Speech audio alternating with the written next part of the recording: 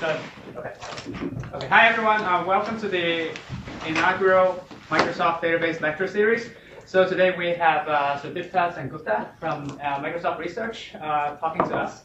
So uh, Sudipta has done a bunch of work in data center networking and also um, data storage engines. And today he's going to tell us a, about a new key value store. Okay, it away. Thank you. Alvin, for the introduction. Mhm.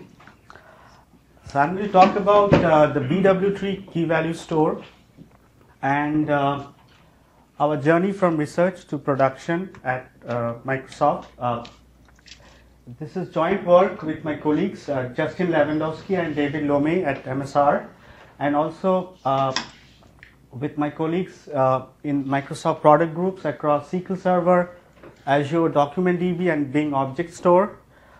This is a project we started around early uh, 2011, and over the last couple of years, uh, the some of the tech transfers I will talk about towards the end have also come to fruition. So let me begin with that. So many of you will be familiar with the B tree. Uh, it's probably uh, at least 40 years old, dating back to the 1970s. Uh, it's, it provides uh, key ordered access to records. Uh, it, uh, it has a tree structure which I have tried to illustrate here. Uh, there are uh, the index nodes or the non-leaf nodes which contain separator keys to guide the search and pointers to child nodes and the actual data, the records are in the leaf nodes. It provides efficient point lookups as well as range lookup. So you can do scans on the key space. Uh, so it's a sorted index, unlike a hash table based index, which with which you cannot do scans efficiently.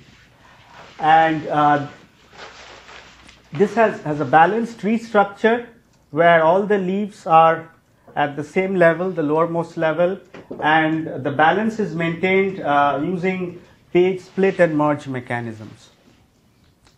So you might ask, you know, because the B tree is 40 years old, why are we revisiting it? What has changed? Uh, why is it interesting anymore? And the answer to that is that hardware has changed uh, over the last 40 years, big time, and uh, um, a lot of the B tree implementations they uh, are optimized for you know old hardware, uh, single core CPUs, uh, hard disks, you know, very little main memory, and so on. So we observe that multiple aspects of this hardware has changed over uh, the last 10 years, and there is an opportunity to revisit the classical B tree and, and take a shot to optimize for much better performance. So, so that is the uh, tenet, the thesis of this talk and this project.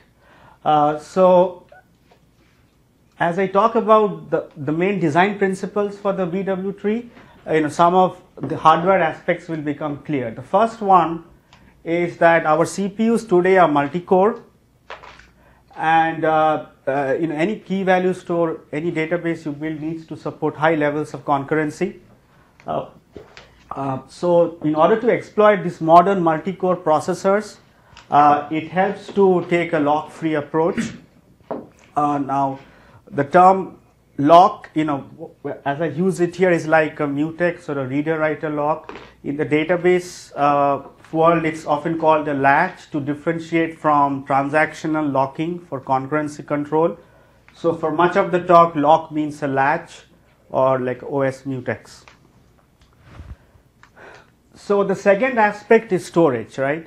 Uh, we have uh, optimized our storage stack for decades to reduce seeks on hard disk, which are expensive, order of 10 milliseconds.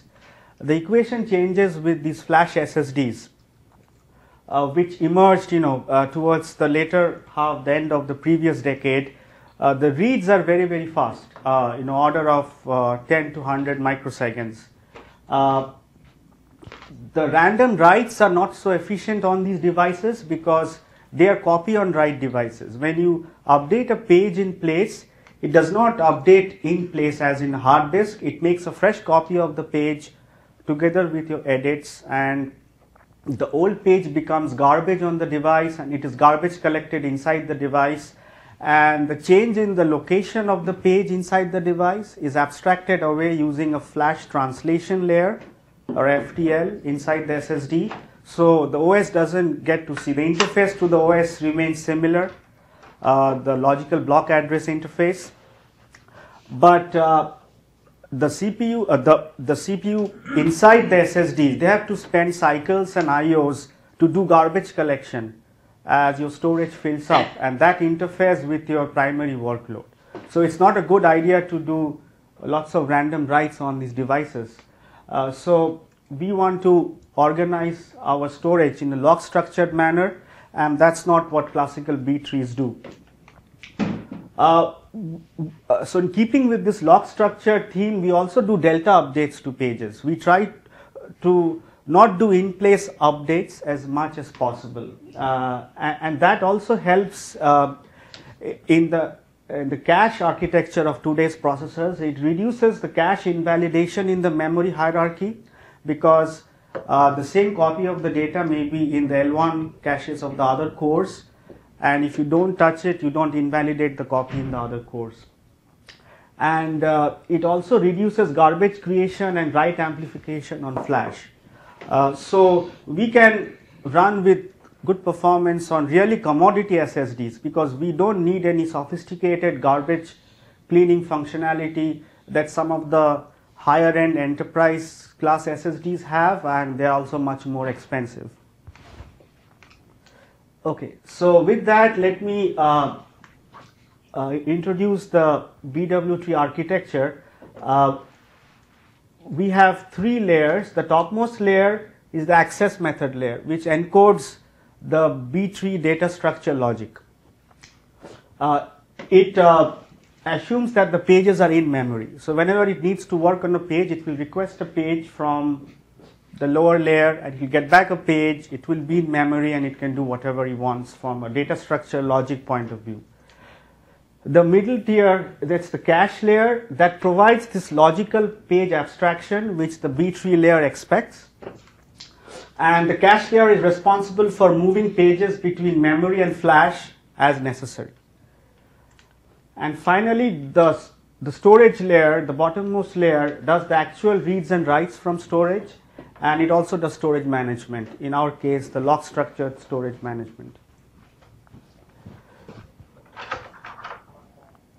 What we noticed that the cache and flash layer together uh, provide sufficiently general functionality that may be uh, needed by different access methods.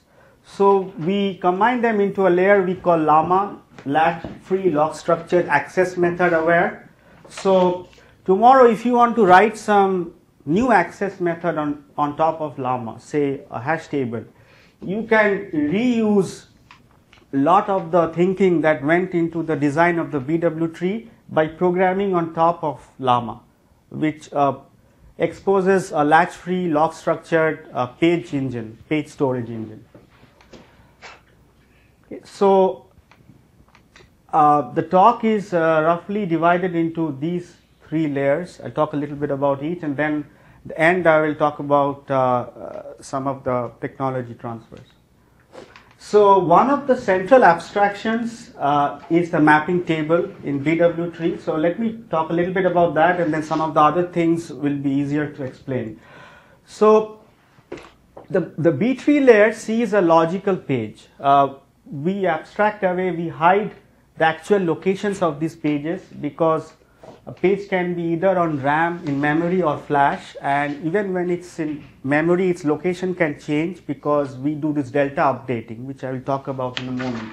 So the mapping table uh, exposes this logical page abstraction and translates a logical page ID to a physical address.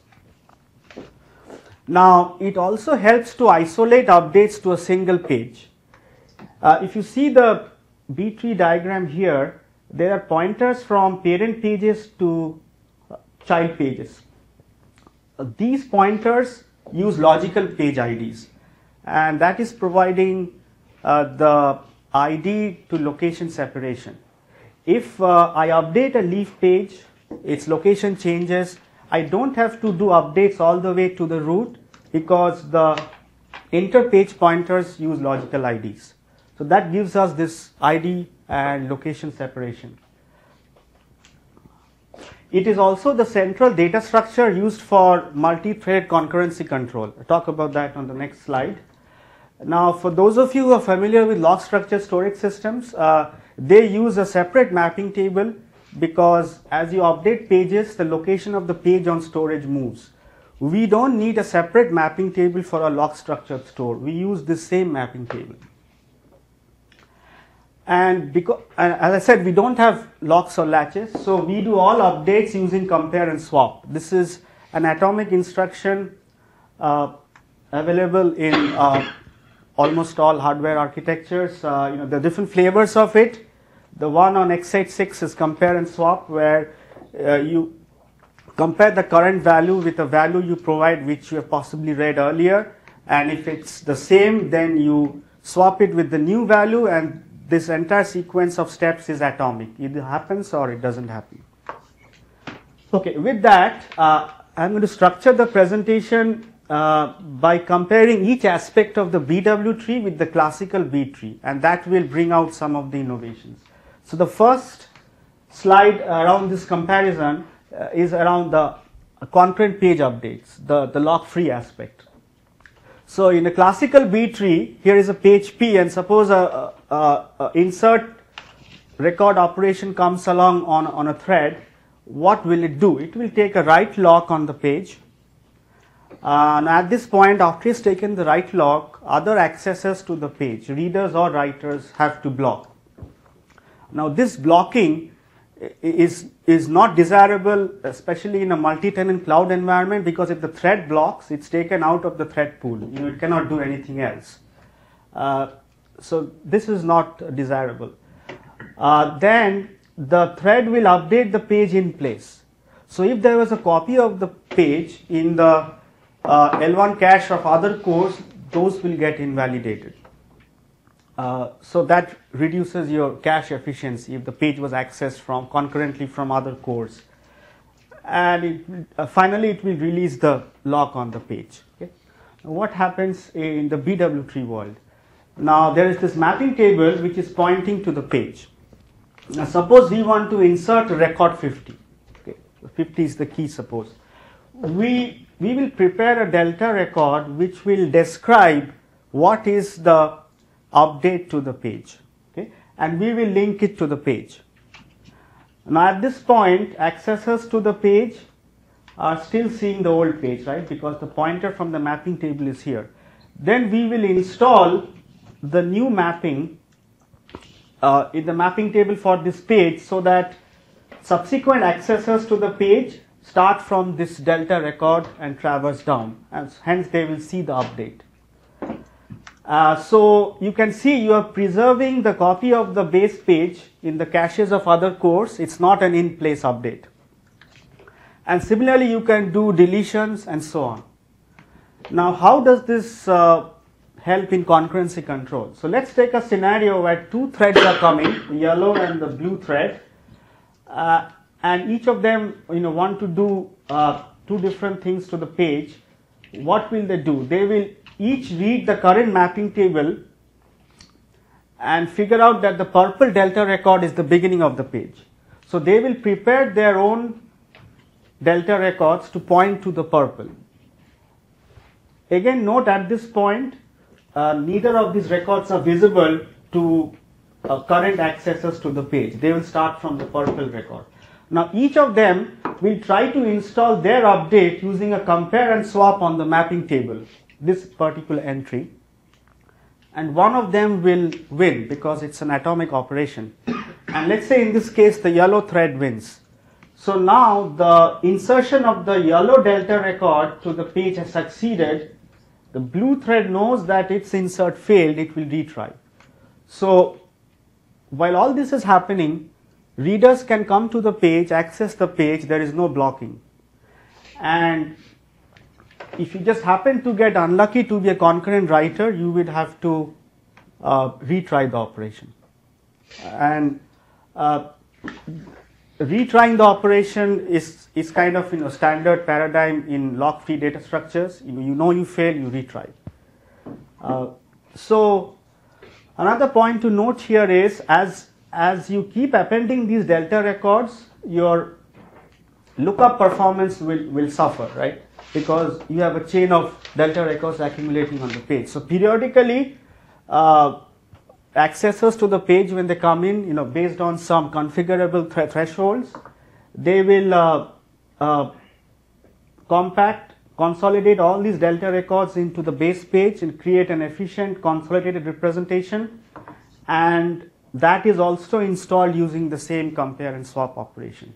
I have a question. Yes. Uh, Can you clarify how this works with uh, the concurrency control at the level of the transactions, where certain transactions should see the reads of other transactions? Yes, so so that we I'll I'll cover at the end in terms of layering a transactional component on top. So this is atomic record store. It, it does not know about uh, races, you know, at the transaction level. Okay, so uh, so here I am. Uh, what I covered is concurrent updates to the page and consolidating a page. There are a couple of other things which have you have to do in a B tree, like page split and page merge, and they are non-trivial to do in a lock-free manner. I'll skip over that. It's uh, in the paper, and happy to discuss that offline. Um, uh, this work appeared in ICDE 2013. Okay, so with that, I'm going to go to the cache and storage layer. But but I think you got some flavor of what lock-free means uh, on Did this you, slide. did you say the consolidation was all lock-free also? Yes, yes. You prepared the, the consolidated representation and you install it using compare and swap. If you fail, it's fine. The next accessor can try it. Okay, so uh, so let me come to uh, SSDs. So the, these started emerging in servers around 2008, 2009. Uh, we uh, looked at one of the really high-end enterprise drives. This is a Fusion IO SSD over PCIe. You know, they charge a lot for it.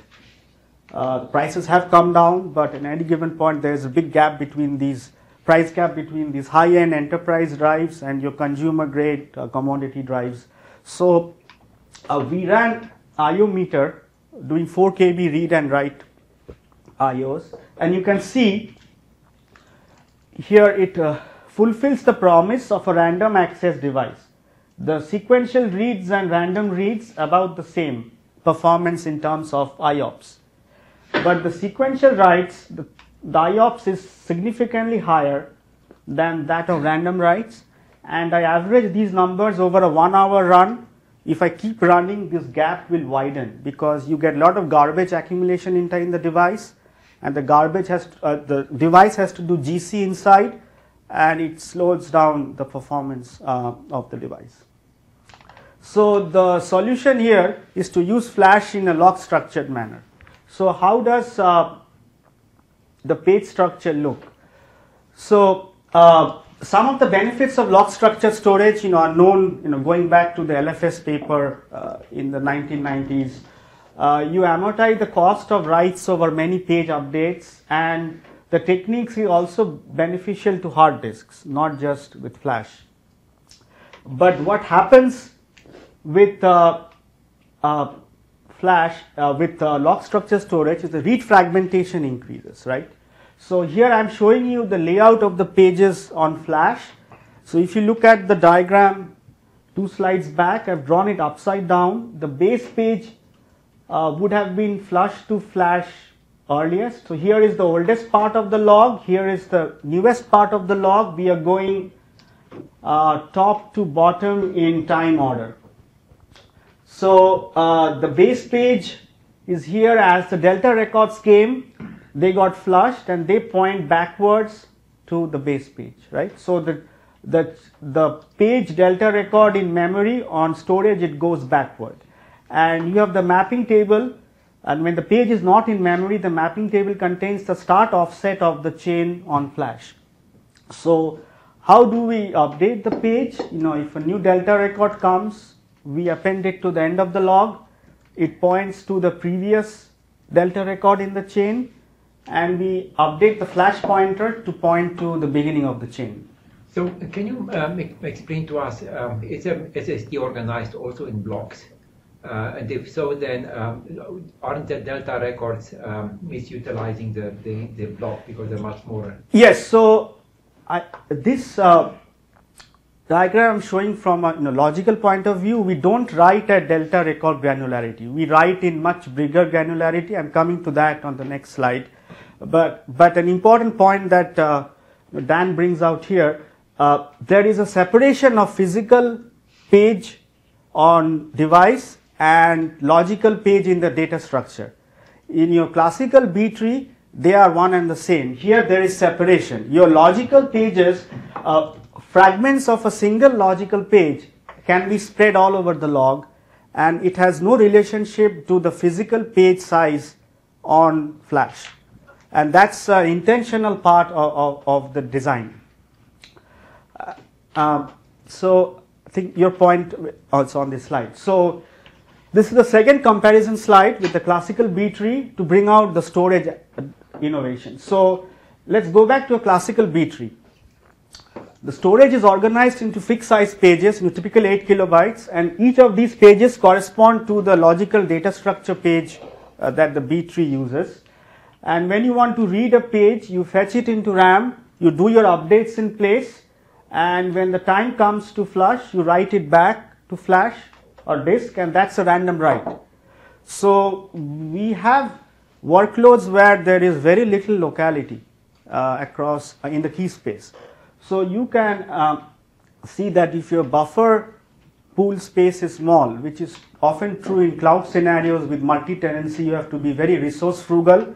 You will do these random writes all over the place, which is very inefficient on hard disk because of seek and it is inefficient on flash because you are doing write amplification creating garbage on flash. So what do we do in BW tree world? Here uh, I've shown you a page on flash. Uh, this is the page. This has a base page and a delta record and mapping table is pointing to it. Uh, so when we have to access the page, we bring it into memory. This is how it looks. Then we update the page by appending a delta record. Now suppose the time comes to flush the page. We have some metadata records here which I haven't shown uh, just for you know simplicity. From that we can figure out what is the unflushed portion of the page with respect to flash. In this case it is the dark gray record. So when the time comes to flush, we will copy that unflushed portion of the page into a large flush buffer.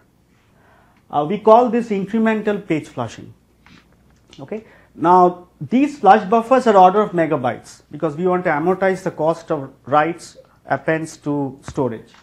And typically they would contain 1000 to 10,000 page flushes. So the previous diagram was oversimplified. These small delta records are not directly going to storage as per Dan's point. They are going via flush buffers and the writes are being amortized in the flush buffer. And so when this flush buffer is full, by the way, this flush buffer is also maintained in a lock-free manner. Uh, to write to the flush buffer, you reserve space using lock-free mechanisms, then you copy, uh, there is no locking involved. Uh, so when this flush buffer is full, it is appended to the end of the log using a single write IO. So, you know, all these order of 1000 to 10,000 edits to a page across many pages are getting amortized to a single write IO to the end of the log and this is where the efficiency of log structuring comes in. And another point to note with classical log structuring, uh, if you go back to the LFS paper from Berkeley, if you update even one byte on the page, the whole page is flushed.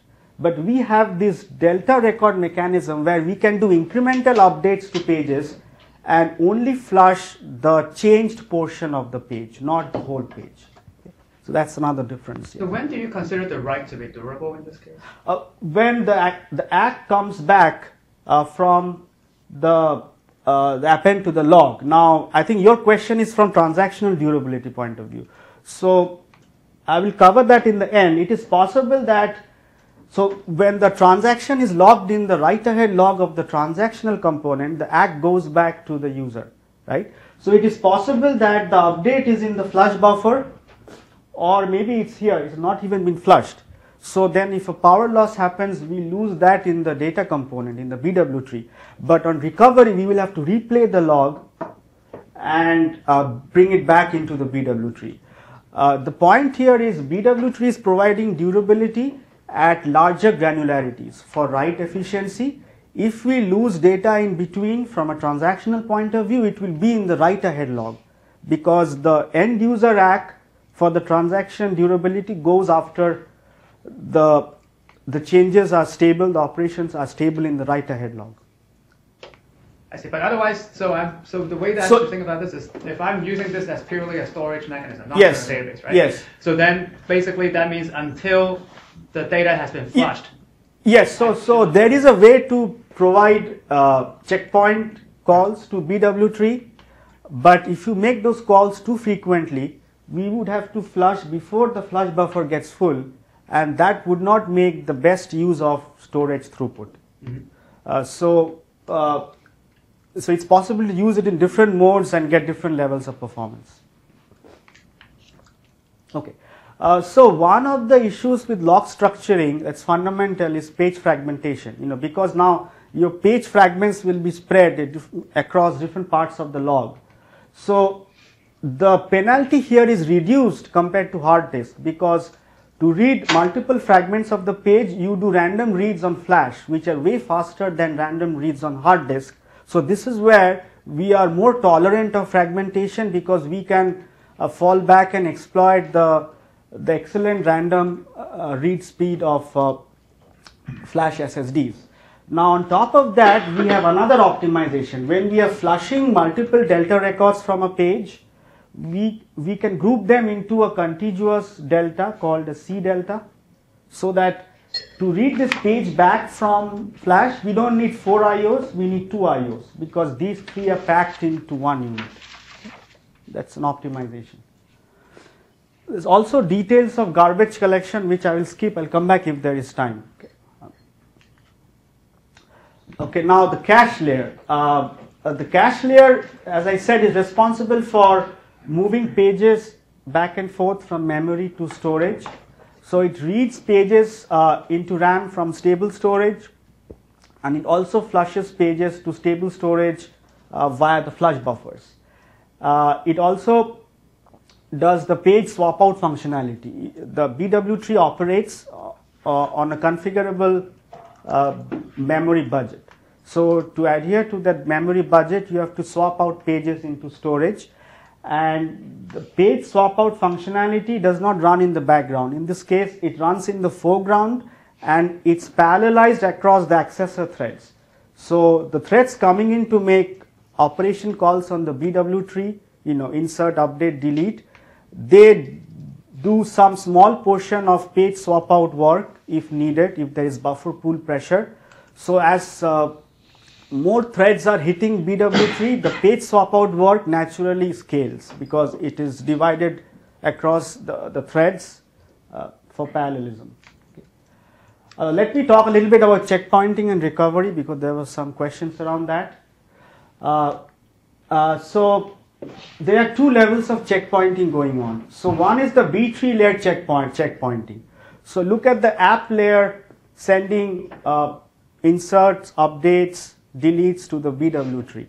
They are not immediately durable, right? The delta records could remain in memory, they have not been flushed, or if they have been flushed, they are still in the flush buffer, they haven't reached storage.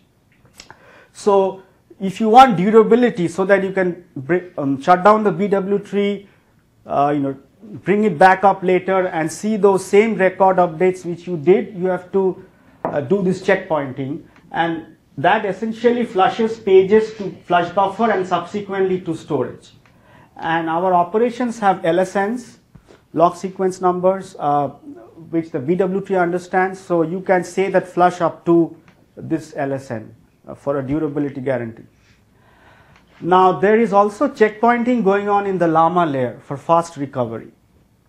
So suppose we did not have this second checkpointing, then everything is durable, But to bring up the BW tree, you would have to scan the whole log, and that may take longer than what you are willing to tolerate from a latency point of view. You are not losing data because you checkpointed, but it takes a while to bring up the BW tree. So the llama checkpointing is for fast recovery. What we do is during llama checkpointing, we write the mapping table to flash. So remember that some of these offsets in the mapping table may be memory pointers because the page is in RAM and some may be flash pointers. For the ones which are in memory, we go and traverse the page and there are flush delta records which I haven't talked about. From those we can find out what is the flash address of the page. That's the thing we store in the mapping table because memory pointers are useless to store on storage. You know, memory locations will change when the tree comes back up. Uh, and then uh, we record the right position in the log when the checkpoint started. Okay, uh, so where the next write point is in the log. So this is a fuzzy checkpoint. As I am scanning the mapping table and taking a checkpoint, the tree is alive, updates are coming, mapping table is changing. That's fine because what we will do during recovery, we will scan the end of the log which grew since the checkpoint started and that will bring the mapping table back to a consistent uh, value or snapshot. So that's what I have ex- tried to explain on this slide. So what do we do during recovery? So the recovery uh, creates check, uh, the checkpointing creates checkpoint files uh, and we alternate between two fixed regions on flash, know, that's standard. Uh, so let's see how recovery works. First thing we will do, we'll restore the mapping table from the latest checkpoint region. Uh, remember this is a fuzzy checkpoint. So this mapping table is not a snapshot at any single point in time because while we were saving it, things were changing. So what we would have to do is we would have to scan from the log position that we recorded in the checkpoint just before we started the checkpoint and we will scan the log and bring the mapping table up to speed. And when we are done, we can be sure that the mapping table is up to date with what is there in the log. And when we bring up the BW tree, and tree in this manner, it is, it is a cold tree. All the pages are on flash and the mapping table contains all flash offsets. Nothing is in memory, right? Uh, and then we have to also restore the BW tree root LPID because without that we cannot start traversing. Now at this point it is a it is a correctly recovered tree from you know serving requests data point of view, but it is cold and so you have the traditional problem that you know the first few operations uh, you know will bring pages back into the cache. They will be slow and so on. So we have some optimizations for fast cache warm up. We can bring up all the non-leaf pages or the index pages into memory using sequential IOs. Uh, so we get a warm tree from the internal nodes point of view, uh, but, but not from the leaf point of view because typically, you know, uh, the tree could be very, very large and the internal nodes are just 1% of or less of the tree. So you can afford to bring in the internal nodes. The leaf nodes you have to bring in based on access patterns, right? So you can do some optimization for having a partially warm tree. Okay. Now there was a question about transactions that came up. So BW tree is part of the larger Deuteronomy project uh, at MSR, uh, and one of the uh, design principles of that project is the separation of data component and transactional component. What you see in today's databases and in lot of uh, textbook material, the transactional and the data component are intertwined. You, know, uh, uh, you hold locks, transactional level locks on the pages in the B tree. You do B tree uh, structure modifications, they are logged in the write ahead log it doesn't make sense because you know one is related to transaction, other is related to integrity of the stored data. So Deuteronomy does this separation in a cleanly layered fashion so that uh, you can layer a transactional component on top of, of a data component as long as both of them obey some protocol handshake. Uh, which is outlined in the CIDR uh, 2009 paper. That's the first paper uh, introducing the Deuteronomy architecture. Uh, so not only is there layering across transactional and data component, there's also layering inside the data component, as I talked about in the second slide. Uh, on the bottommost layer is the, the Llama latch-free log structured page storage engine, and on top of that you can build a access method. We have built BW tree. Tomorrow, you know, somebody else can build a linear hashing data structure and so on. So you can see there is uh, clean layering across multiple levels of the stack, and that allows this uh, library to be used in different ways based on application requirements. If somebody wants a transactional key value store, you know, he will write code that will, that will hit APIs on top of the transactional component. If you want to use it as an atomic key value store, that's what BW tree is, you will hit APIs on top of the data component.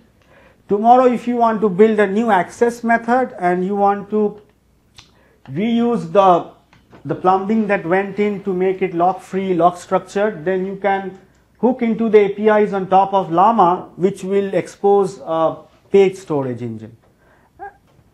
So that's the flexibility in using different uh, parts of this layered stack.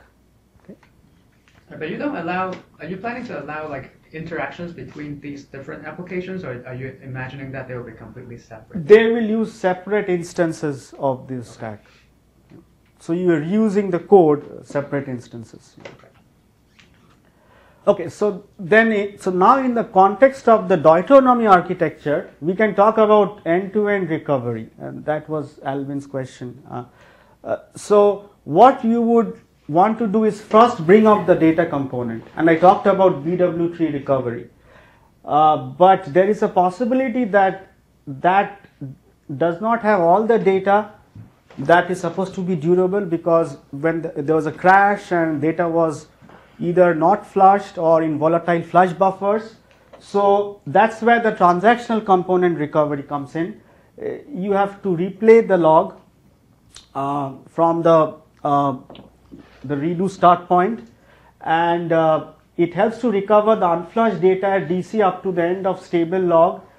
And there are uh, well-defined handshakes between the TC and the DC as part of the Deuteronomy architecture which make this work correctly. Uh, so the order of recovery is DC recovery first and then uh, TC recovery uh, to replay the log. So I have about uh, 10 15 minutes. So let me go, go to the production uh, stories. So we started this project in early 2011 and over the last couple of years um, we have had uh, three major tech transfers to uh, different product groups at Microsoft, and I'll talk a little bit about them.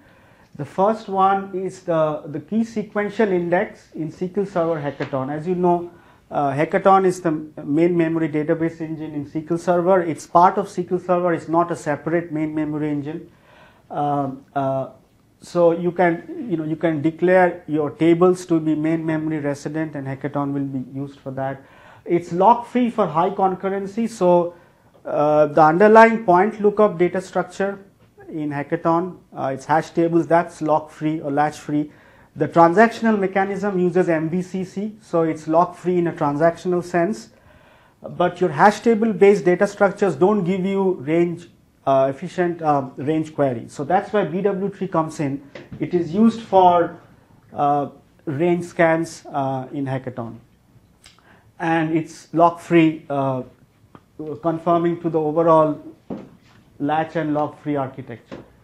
The second uh, tech transfer is the indexing engine in Azure Document DB. So, Document DB is a document oriented store. I'll talk about that in a moment. And document oriented stores have to support rich query processing over schema free documents. These could be XML documents, JSON documents. And an important feature that would be good to have is automatic indexing. So you want to do rich expressive queries on paths in the document. Each document is a tree containing a, you know, a hierarchy of properties and values. compare this to the relational model where you specify secondary indexes on explicitly on columns, right? So that's kind of non-automatic indexing. Uh, so here you would like to ingest your documents and then you can do rich expressive queries and they should work you know reasonably fast. Uh, and uh, you want this indexing to keep up with document ingestion. So not only is your index size bigger because you have to index these paths and subpaths in the tree per document, you also have to keep up with sustained document ingestion. For example, you, you, the documents could be IoT log files, click, uh, you know, click streams and so on. So it's very important for the indexing to keep up with uh, document ingestion to serve fresh results when the queries come. Okay. Uh, so BW tree is the indexing engine inside DocumentDB. I'll talk about this in more detail because uh, among the three tech transfers, uh, this is an example where because of the collaboration we were driven to add new features to BW tree. Uh, uh, and I'll talk about those features also. Yes. Sorry, so what are you indexing in DocumentDB? Is it the paths or is it the actual values? The, the paths and subpaths okay. uh, of the tree. Okay. Uh, With the subpath, subpath. subpaths could be sequences of three nodes and three contiguous nodes. You can't index everything because it would blow up. So you have to index you know, some reasonable number of terms per document. Yes. You do that trick of inverting the path, you can have the uh, leaf, yeah. Yes, yes, Okay. Yes. So, uh, so I'm going to talk about this in a little bit more detail.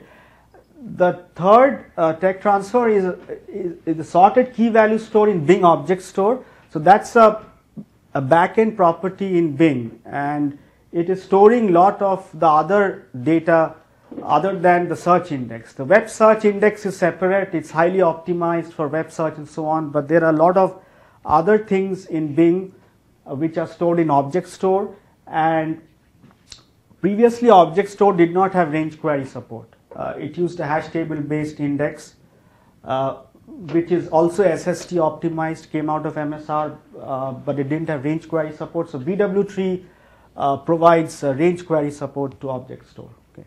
So this is also this slide brings out the different ways in which msr engages with product groups so the first one in SQL Server Hekaton, you know, we gave the Hekaton team the paper and a prototype. You know, they rewrote the code from scratch to, you know, for, to conform to the coding standards of the rest of Hekaton. In DocumentDB case, we wrote the code from scratch. Uh, you know, working with the DocumentDB team because what we had to begin with was, uh, you know, the research prototype. So by the time we reached here, you know, there are like three, four code bases going around and we are being asked to fix bugs in multiple code bases, you know, we are going crazy.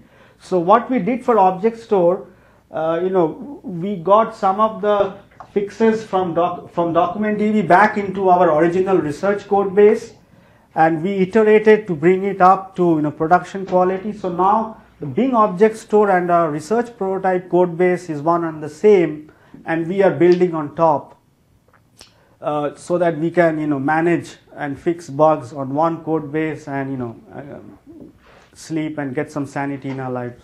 So so uh, a uh, you know, quick description of the evolution of data stores over time. You know we are all familiar with the relational model.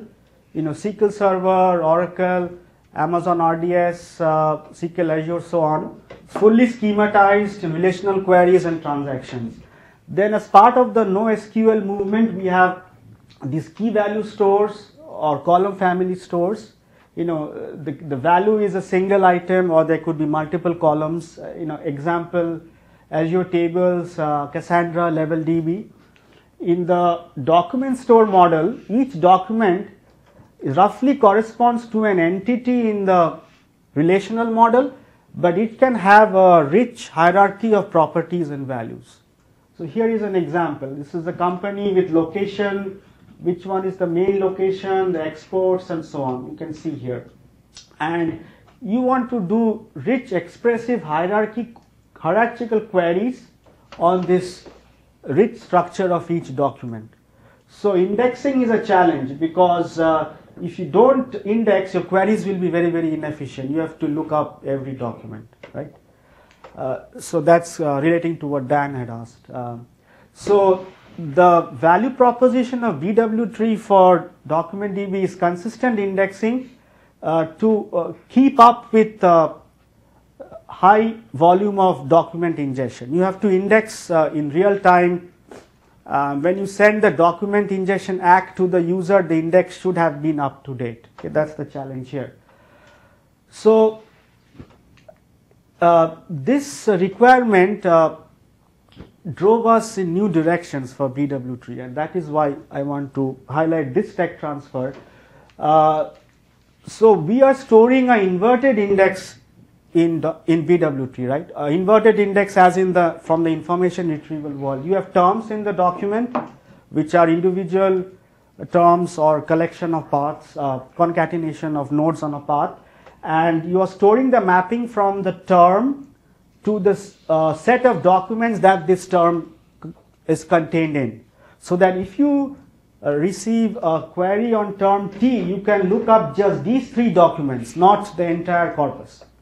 And this is, uh, you know, at a high level, search indexes also build this inverted index, but it's way more optimized uh, for search context where the data may not be changing as fast. Now, this is the third slide where I will bring out uh, the innovation again by comparing with classical B tree. Okay, so what would happen if I stored this inverted mapping in a classical B tree? Uh, this would be a record. Let's say it is stored on this page, which is currently on storage, and I am having a document ingestion scenario where a new document D4 comes in. That's the plus addition containing the term T. Then I would read the page, I would do a modification, I would have to write it back uh, because I have very little locality on the workload, so and buffer pool size is small, so there is a read IO and there is a random write IO, right? This is the classical B tree. In BW tree, I have shown the same mapping on a page on SSD, and what we are holding in memory is a slim page stub pointing to where the page is on memory uh, on storage and we have some more metadata in the page to help us uh, do the search the separated keys uh, uh b-link side pointers and so on so now when uh, this document d4 comes in containing the term t we don't read this page we add a delta record to the page stub describing the update to the page without actually knowing what the current value of t is. And this is called a blind update because updating it does not require you to know the current value. And this is suited to an inverted index situation because the document D4 came in. Why would you need to know the current mapping? You just want to bring the index up to date with the new mapping.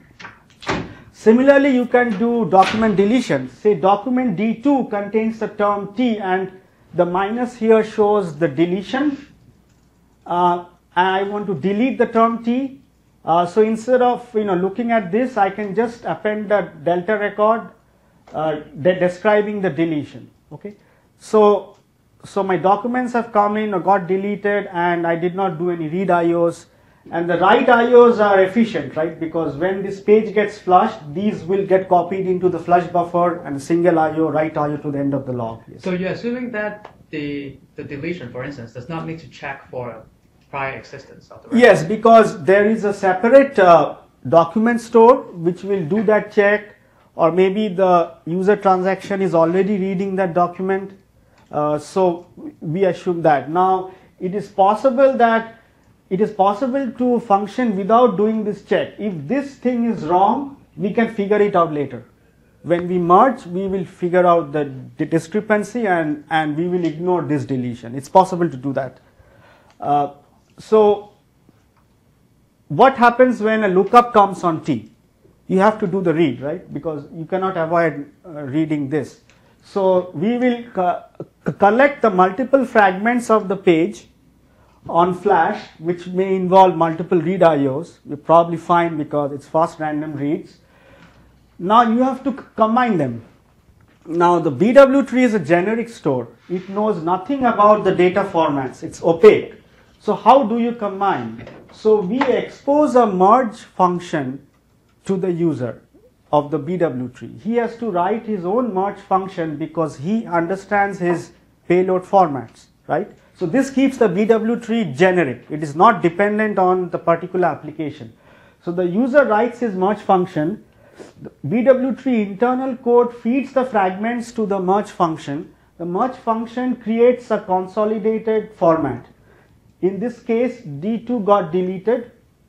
So going back to Alvin's question, if D2 wasn't here, uh, you know, I can either hold it out here or I can figure out there was some error somewhere, you know, do some, generate some alert and ignore it. So there is a sanity check happening when the merge function is called. And then you output the merged value to the user, okay? Now this, we also need to call the merge function when we consolidate the page because we collect these fragments together and compact it into the base page, right? and we don't know what the merge function is. We define the API, the user has to implement it. Okay? We are opaque to the payload format. Okay. Uh, finally, the second, I think I'll finish in five minutes. Uh, the finally, the second direction in which uh, the document DB collaboration uh, pushed us is resource governance in a multi-tenant setting. So in a multi-tenant setting, you know, in DocumentDB, order of 100 replicas are running on the same machine. And they have to be tightly resource governed. If one replica takes up too much resources, it will interfere with the performance of the other replicas and this is not desirable in a multi-tenant setting. Um, uh, so we do different types of resource governance. Uh, in the first, uh, the first resource is CPU, right? You have to uh, one replica cannot take up too much of CPU. So we have uh, the threads calling into BW tree, they do not block. So that really helps. They do not block because they don't take locks and they also do not block on IO. They do asynchronous IOs with continuation pattern. And the top level scheduler will control the thread budget per replica. Okay. The memory resource governance I talked about a little bit. We can, uh, there's a buffer pool limit. We can stick to that. And we can swap pages out. And uh, the buffer pool limit can be changed dynamically. You know, if you are decreasing it, there will be some small time interval uh, before which it falls below the decreased value. We also do IOPS resource governance. We operate on, you know, on these SSDs which have some advertised IOPS uh, budget. You know, the SATA SSDs maybe several tens of thousands read IOPS, you know, under 10,000 write IOPS. You have to, each replica has to stay within the IOPS budget. Uh, the, we actually not too much constrained by write IOPS because they are very large. We are more constrained by read IOPS. Uh, so the mechanism we have here, we check the resource usage before issuing the IO. We do some averaging over small time intervals like token bucket and then uh, if uh, we are running close to the budget for that replica we ask that thread to retry after a computed time interval. So it will get back to a job queue and then it will be retried. And we also compute a hotness metric for the replica which is propagated upstream because the, if the, uh, the when the throttling happens the further upstream it happens closer to the user it's better because uh, you will have fewer queues building up inside the system. So we propagate feedback upstream to the upper layers we propagate it back up and, and you know if a replica gets really really hot at some point uh, the throttling signal may go to the user client library. We also do storage resource governance where you know it's a log structured store so you have to do garbage collection. Uh, the interesting thing is here, you know, sometimes a lot of data may be deleted from the BW tree. So you would have to shrink the log structure store uh, accordingly because uh, at, you know, at the higher layer they expect that your storage usage from BW tree is roughly proportional to the amount of data stored in it, right? Uh, so, you know, typical log structured storage systems work with a max size, right? And they, when they get to 80 90% of max they do gc and so on but we are fully elastic. If you delete data, uh, you know, after some time we will shrink. Uh, we will remain proportional to the amount of logical data stored in BW tree. Okay, uh, this is the second last slide. And I want to uh, bring back the fast recovery aspect I talked about. You know, in DocumentDB, we are running in a replicated environment. There is a primary, there are two or more secondaries, and it is an important requirement in the cloud to bring up replicas quickly because you know replicas are going down, failing, or there is maintenance of the ring happening. Machines are, are getting upgraded, apps are getting um, patched, and so on. So you want to bring down a replica and bring up another quickly on another machine. So the fast recovery feature of BW tree makes it suitable for bringing up a replica very quickly. Uh, what happens here when we bring up a replica? The first thing we do, we get uh, the physical state stream from primary.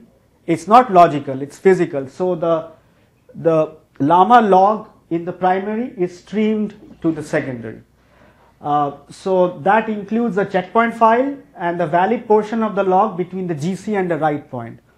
Now with those two pieces of information, the tree can be brought up very very quickly as I talked about fast recovery. And after that you still have to do a small amount of uh, catch up with the primary where you play the, the operations that you missed in a logical manner uh, and then you can this replica can join the uh, the set of replicas for uh, that particular partition. Okay. Probably stop because we're getting kicked out of the room. Okay. So this is the last slide. So, so let me quickly summarize. Uh, I, uh, we talked about how we redesigned the classical B tree from ground up for modern hardware and cloud. Uh, uh some of the aspects lock free for high concurrency on modern multi-core processors delta updating of pages for cache efficiency, efficiency, log structure storage organization for flash SSDs. Uh, we talked about flexible resource governance in a multi-tenant cloud setting. And uh, as part of the Deuteronomy architecture, we can layer a transactional component on top. Uh, the BW tree is shipping in Microsoft's three server and cloud offerings, SQL Server Hekaton, Azure Document DB, and Bing Object Store. And some of the continuing work, we have layered a transactional component on top of Deuteronomy, uh, on top of the BW tree as part of the Deuteronomy architecture.